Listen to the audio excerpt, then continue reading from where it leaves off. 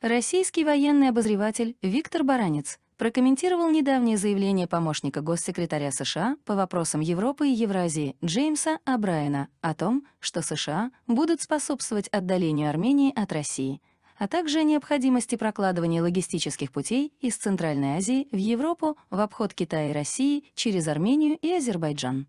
Это так называемый Зангизурский коридор, это давнишняя мечта Соединенных Штатов Америки и НАТО — они как бусинки хотят нанизать на ниточку бывшие страны Советского Союза, ну и, естественно, управлять ими.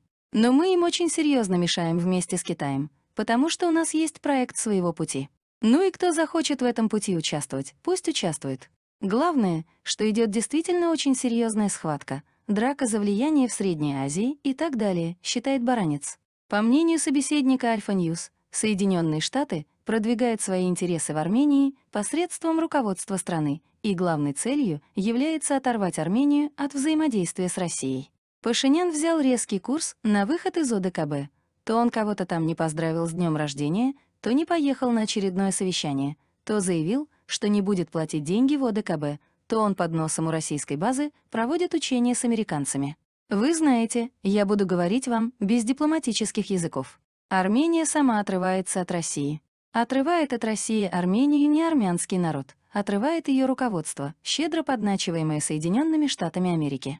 Оторвать, вырвать Армении зло на влияние России, безусловно, это золотая мечта руководства Соединенных Штатов Америки. Пашинян уже пытается вырыть могилу на границе между Арменией и Россией.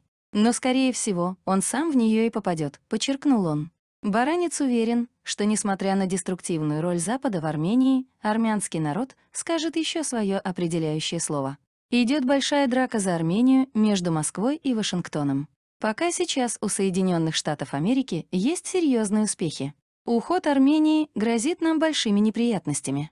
Вы понимаете, что рано или поздно американцы потребуют у Пашиняна выгнать нашу военную базу. Наши пограничники не будут уже охранять армянскую границу.